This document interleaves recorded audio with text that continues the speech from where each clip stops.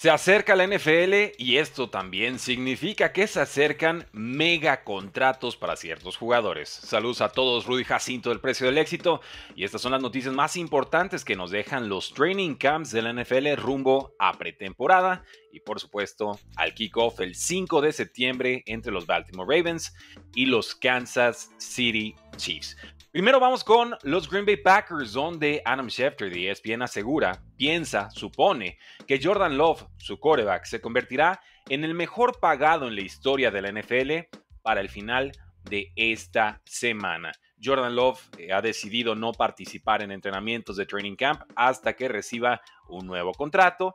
Y esto parece una decisión muy lógica de su lado y bastante aceptada por parte de los directivos de los Packers.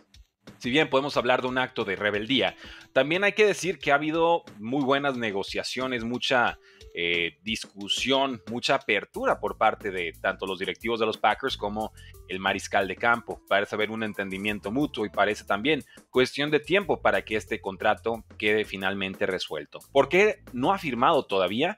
Creo que es por el contrato que recibió Trevor Lawrence con los Jacksonville Jaguars por 55 millones de dólares anuales y eso de pronto parece haber asustado a los directivos de los Packers que prontamente entendieron que iban a seguirse disparando los contratos de mariscales de campo. Pero dicho eso, mi expectativa también es que Jordan Love firme ese contrato récord. Lo dije en el programa de ayer, antes de que lo planteara Adam Schefter, lo repito el día de hoy. 55 millones de dólares por temporada, más un dólar. Con eso, Jordan Love ya puede presumir ser el jugador mejor pagado en la historia de la NFL. Y el gusto le va a durar quizás tres o cuatro días en lo que firma un Dak, un Tua, un Brock Purdy o, o quien sea que siga. Pero el honor de haber sido el número uno mejor pagado de toda la NFL, nadie se lo puede quitar. En cuanto a si merece el contrato o no, he visto mucha resistencia en este sentido. Yo soy de la idea de que el jugador demostró lo suficiente para meritar o merecer un contrato de este tipo. ¿Por qué? 18 touchdowns, una intercepción en la segunda parte de su temporada.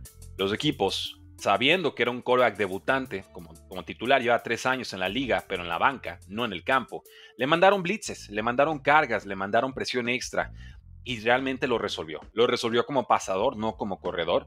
Y lo vimos en esa segunda parte de la temporada. Cuando todo hizo clic, cuando encontró esa química con sus compañeros, llevó a los Packers hasta ronda divisional.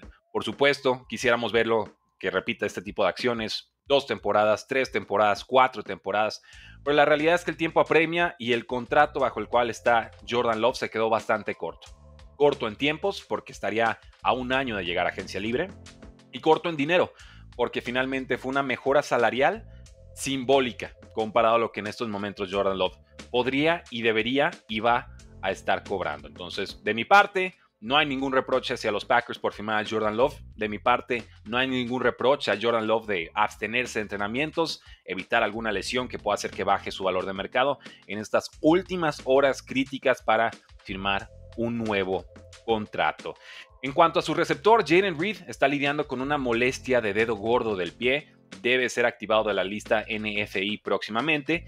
Y el jugador de segunda ronda, el linebacker Edgar Cooper, junto con el safety de segunda ronda, Javon Bullard, ya aparecen titulares en esta defensiva. Así que doble impacto de jugadores de segunda ronda para la escuadra defensiva de los Packers. Sigan dejando sus likes y sus comentarios. Pasamos hasta Minnesota, donde TJ Hawkinson parece estarse recuperando bastante bien de su cirugía de ligamento cruzado anterior.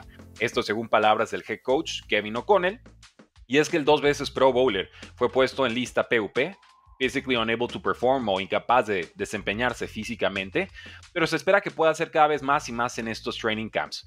Por otro lado, nos dice el head coach Kevin O'Connell que Sam Darnold tendrá la mayoría de los snaps de eh, primer equipo, o sea, con los titulares. Pero dice que siguen desarrollando y aplicando este programa de desarrollo de corebacks para la primera ronda. JJ McCarthy, quien fue tomado de Michigan. Finalmente, los vikingos se preparan para una posible suspensión de Jordan Addison después de que fuera arrestado, bajo sospecha de manejar en estado de ebriedad.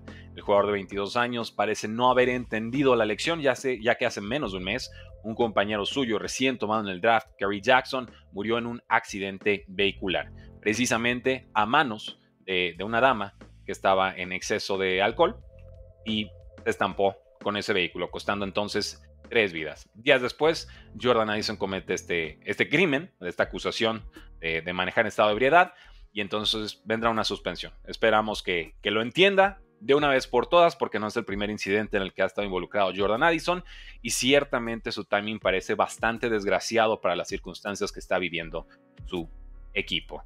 Nos vamos con los Osos de Chicago. Sí, nos fuimos de lleno con la NFC North, la NFC Norte en esta ocasión.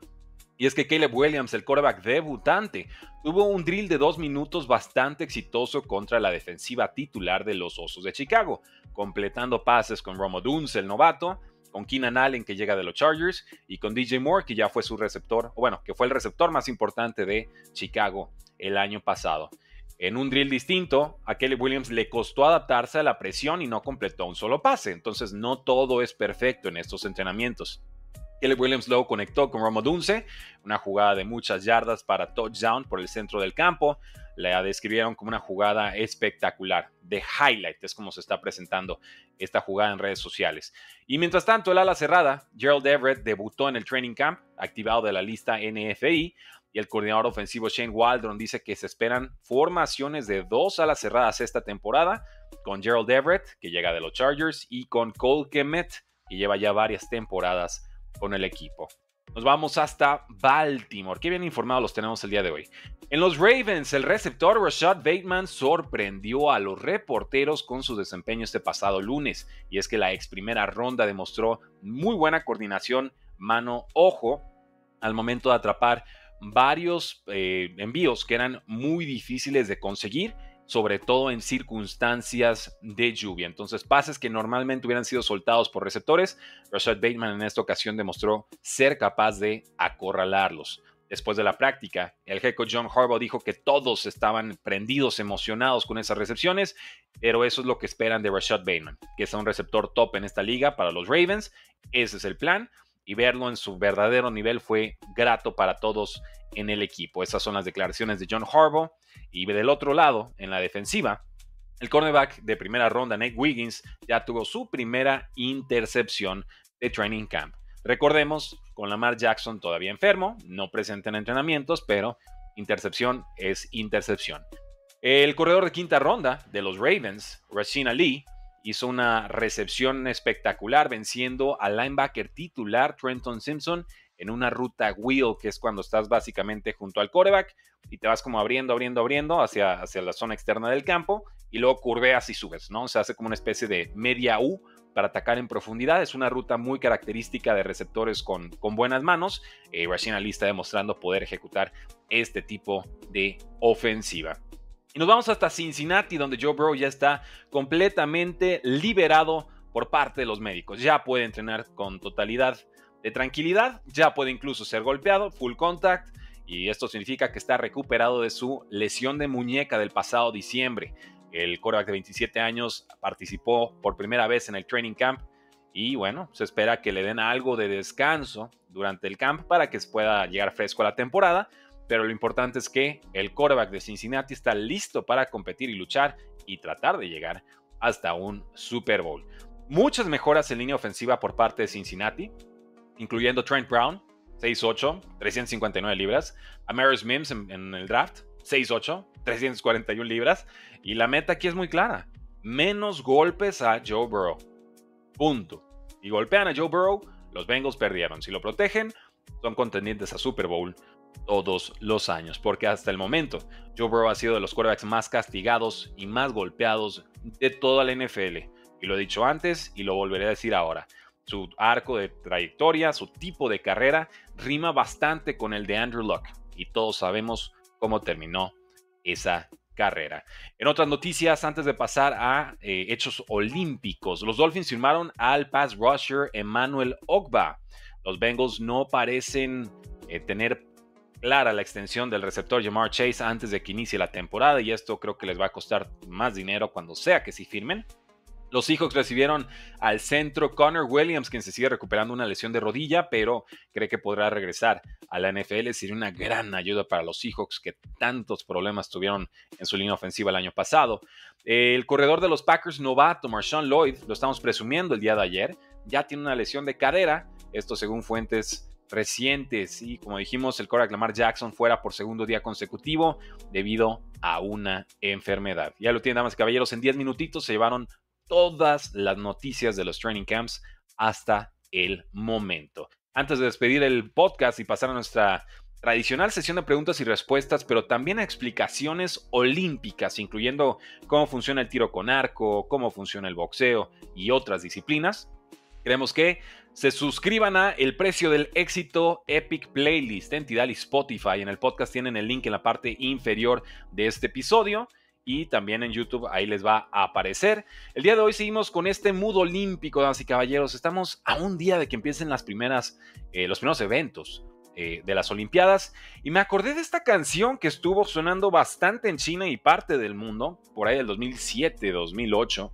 Eh, Beijing te da la bienvenida Beijing Huang Ni, así recuerdo la canción y es que en ese momento estaba tomando clases de chino.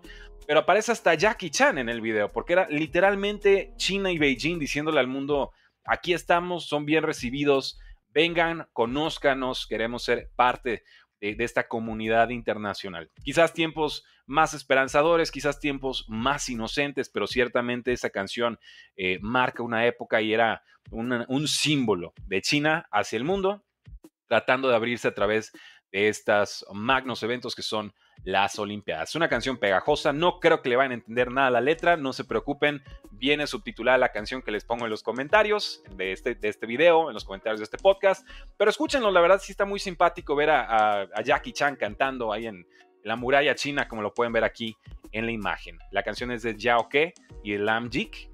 Es, el primero es el segundo hizo la música, el segundo debió escribir la letra. Beijing welcomes you. Beijing te da la bienvenida. Beijing Huan Ni.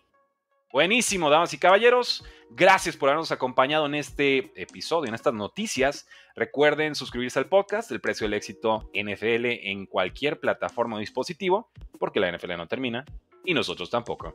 Hasta la próxima.